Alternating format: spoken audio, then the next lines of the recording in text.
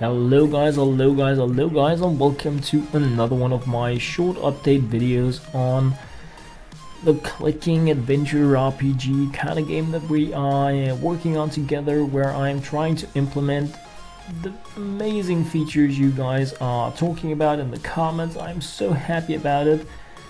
I wanted to do weekly updates on the game development but I'm putting in way more time than I should into this project because I think it is so fun and I really want to keep you guys posted on the small changes that I do whenever I do something in the game. So even though I haven't made all the changes that I wanted, I decided to post a new APK file and uh, really share the process with you guys about the different small changes that are happening in the game. So unfortunately, saving is still not an option and pets cannot die, they cannot fight, you cannot change their names.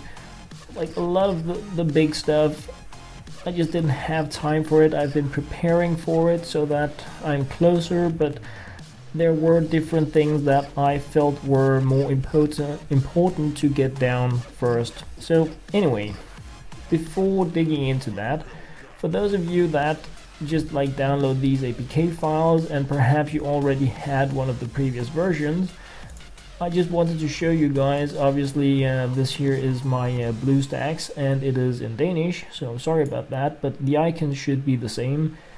But if you go into your BlueStack settings and you go into uh, administrate programs, this is where you need to delete the apps.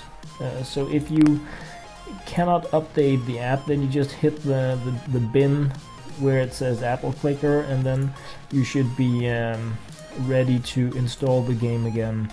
So I just wanted to share that with uh, new BlueStacks users that uh, possibly didn't know how to uninstall an app and if there were problems installing the new versions of the game.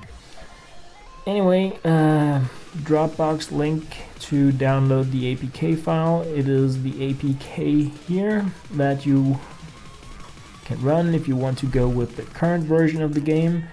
I'm like keeping some of the different versions there just because I think it's kind of fun and perhaps you guys want it for fun as well to track through the process or anything guys. Um, so, um, what did I want to say? File size, I've nudged it down a bit moved from 31 megabytes to 25.8 uh, just really trying to focus a little bit on it. Still like I could probably shave it in half but I don't want to go there yet because I'm gonna be making a great deal of changes to the graphics in the game once we get closer to completion um, so I'm not focusing that much on it. But anyway get the APK file down and you like double click it when you have BlueStacks open and then it's gonna install it and it is going to run it. Sometimes it runs it. Not sure why it doesn't now. Anyway no icon uh, it's gonna come at some point. So what have I changed? Loads of things really uh, and some of them are immediately visible. Money and apples now have a maximum amount and that comes down to one of the things I personally find very important in games. It is I want to earn the right to have things. I do not like to get everything handed on a plate and it's like, here, go crazy. I like that if I am rich in a game, I have earned the right to be rich if I can buy crazy upgrades, it's because I have made it possible for myself in the game. It also allows for a bit easier um, game guidance, meaning that I can we can put in features in the game for new players. At, at some point we're gonna need like a tutorial and stuff and we can give people enough money to guide them towards the upgrades to show them how the game is played. Um, so like loads of things in one. Uh, also I feel that the more you can specialize in a game the more fun potential it has. So if you want to like be all focused on money you can do that. There can be uh, just out of the box here special pets that you can only get if you have enough money, golden versions, special pets you can only get if you have a huge stash of apples, all sorts of things in those directions, besides achievements and trophies and stuff like that, that of course will be added.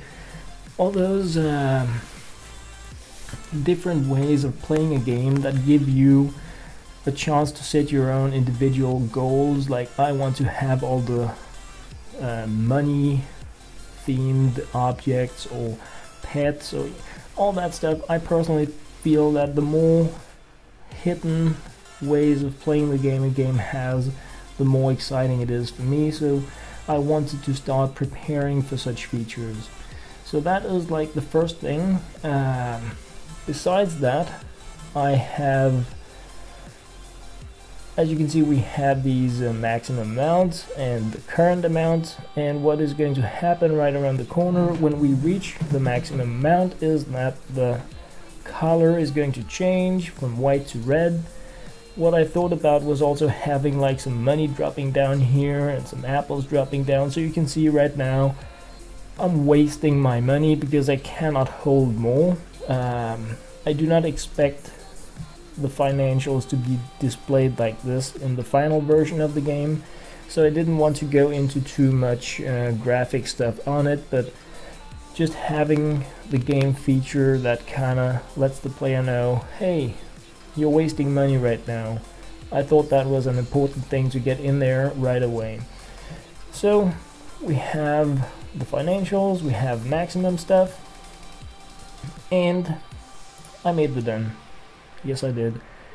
So right now the den has five upgrade options. It has stables that allow you to increase the amounts of pets you can have. You can only have three from the start and it doesn't give you an error message when you try to buy more. Obviously it's gonna have some kind of message. You need to upgrade your stables to buy more pets. When you buy the third one, go in here and do it, all that stuff. Right now I'm focusing uh, very much on the functionality. Um, so that is what you can do with the stables. You can increase the amount of pets that you can have in the game. We have the treasury that increase the amount of money you can have. Granary increase the amount of apples you can have. The nursery and the kennel are not working. I have programmed them but I have not, have not implemented them so you can upgrade the pet health but it actually doesn't happen. You can also upgrade your roll luck, but it doesn't really affect what kind of pets you get, but in the next version it will, and um, I like having an option like uh, the luck, because it once again it gives you a chance to specialize on trying to get more rare pets if you want to. Uh, it I mean, obviously the amount of upgrades you need, it, it, the price just keeps scaling. So like if we check out the max coins here, it jumps to 112. Now it's red, we can't buy it, we go out again. Um, so it just continues to add these 25%. Uh, pet rolling, because I'm working on the menus, sometimes you roll for a pet when you click on the den button. It's super annoying in the process of tracking that uh, small bug down, but uh, it just happens sometimes. It's like a few pixels, I need to nudge a few things, and it comes, it's with the scaling algorithm again, but I'm gonna get it all sorted. But anyway, these icons also now have this reddish color when you cannot afford to buy them and they are like greenish when you can. I'm not saying they're gonna end up looking like this but this was just what I pulled out of my pocket a little fast. Also just shows 100. Should have like a coin symbol as well because we are spending coins here and not apples. Um, so it says apples here and what it gives you is coins per second, no apples per second. I want to make some kind of uh, fruit tree upgrade where you can both get these per second kind of things, but also unlock the golden apples, the magic apples, all the things that get you more money for actually tapping apples up the tree. Also a place where you should be able to affect the lifespan of the tree because a lot of you guys have been requesting that I add in a feature where you can, so the tree can die and you can plant a new one, possibly rare version of one, possibly other fruits. So that stuff is going to be probably combined into one game area in terms of upgrades. So, uh, what else did I do today? I made some adjustments to the animation of uh, especially the bats. It should prevent them from flickering. They jumped quite a bit from the top to the bottom. It should be less likely to happen now. Um, in the stash here, it is still not possible to do anything with your pets. They just give you the passive income but I have now made it so that you can see the coins per second, the apples per second, the attack points and the health in addition to the current level and the name of the pet. So lots of things that I still want to add, like your your comments, your ideas are just so absolutely amazing and awesome. I'm so happy about it. And um, I'm, I'm really trying to just, I'm writing things down on my working papers and trying to make notes also in the actual code about, you know, this guy or girl had uh, an idea about this that I need to consider when I make the rest of this part. Uh, so as you can see now we have three pets and when I tap here nothing happens. Um, but if you go into the den and you increase your stables here, then uh, you can actually roll for another pet. So, um, so yeah, obviously all this info has to be visible like in the base game. I'm thinking about adding some kind of border here where you can see in the pets that you have like 3 out of 10 and stuff like that. When you can afford an upgrade somewhere it needs like an exclamation mark. So many like small enhancement that enhancements that I want to add to the game in addition to all the really cool things the the pet battles, the PvP, the trading options, the different cases, the the collection overview, what pets can I collect and trophies and you name it guys, loads of things. Uh, I did show you in the last video that I made these kind of structures for the background that should be affected by the den, but I haven't implemented them yet and it's because I'm going to probably make another layered version of the background because I'm thinking perhaps the stash should be visual, the treasury, so that when you upgrade this, instead of just nothing happening, we have some kind of like a gold pile or I don't know, some kind of um, chest or something that gets larger. When you when you increase the stables you could get like a bat cage one time or just to make the impact on the visual part of the game larger um, to what extent I'm not sure yet. I'm also as always really open for feedback from you guys but I really like having the visuals of the game adapt to the way you play it. Also because I think it would be really amazing if I play this game and I focus on uh, let's say money and my uh, my treasury and PvP, my game would look different than if you have been focusing on apples and specializing in rare creatures, for instance. So when we look at each other's game, it's like, are we playing the same game? You have these crazy pets and you have this uh, golden castle kind of thing. I just think that kind of um, of a game option would be really amazing as well because even though you're playing the same game and you can trade with each other, possibly even battle, you're looking at like completely different things.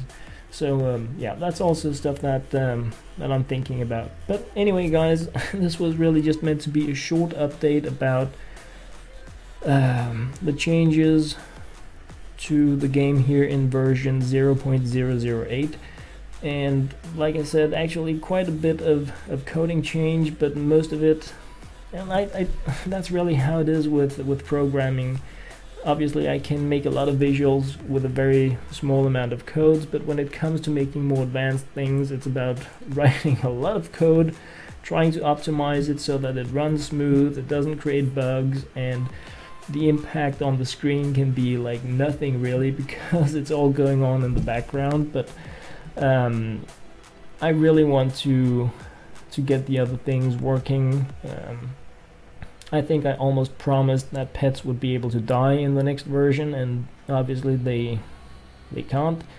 Uh, the thought was that they could either die of age or starvation. I really like the idea about going into the stash and having different options here. One could be feed, so that you need to go in and feed the pets every once in a while, not like Tamagotchi style, but you know, keep them alive. And if you don't, they die or perhaps they fall asleep. Perhaps I want a game option so you can choose how hardcore you want the game. Um, and that would really lead to another cool thing which could be hiring personnel so that you could have like a stable boy or stable girl that would feed like three of your pets or five so you can start really adding these different elements to the game so you can like if you play the game a lot you don't want to waste your resources on it. Uh, if you just want to play it casually then you want to upgrade to have like a staff in your small growing kingdom of of people that do stuff for you just as with the money per second and the apples per second. Then you get somebody to feed your petal petals pets. Also love the comments about like animal trainers that will increase their attack points. Um, I, I mean mini games guys like you guys wrote about working on two of those actually uh, the the daily roll jackpot rotation. I had this really cool idea about making uh, like this multi-tiered jackpot system where you have like a rolling thing, an outer ring that can roll into an inner ring and like go crazy, so you can be like really insane lucky. But at the same time, it would have this daily login feature so that the chance for you, let's say you start rolling in the outer ring and you have 1% chance to go to the next ring for even better prizes but each day it gives you like an increased chance to go to the next ring. So if you play the game every day you're going to be pretty guaranteed to win a lot of really cool things at the end of the month but you could also be really lucky at the start of the month um, so that is also stuff that I'm uh, scribbling about. So really, a lot of stuff going on. I'm super hyped about this project, and also really because you guys are just crushing it with cool ideas and supporting me. So obviously, I just want to go nuts and uh, try to make all the crazy features and share them with you guys. But anyway, it's uh, I'm just talking. So um, as always, guys, thank you very much for watching. Thank you for your comments, your thoughts, your suggestions. You guys absolutely rock. As always, thank you very much for watching.